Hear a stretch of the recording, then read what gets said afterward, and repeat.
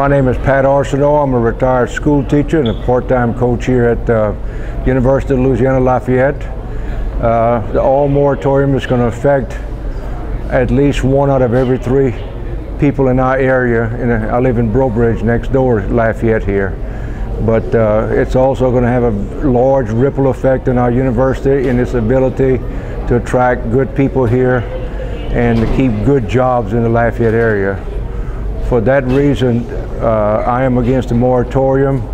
We can have safe drilling.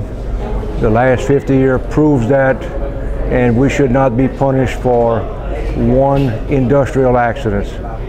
This is, uh, the industrial accident was an accident. Uh, this moratorium is a man-made accident, and it's uncalled for. Thank you.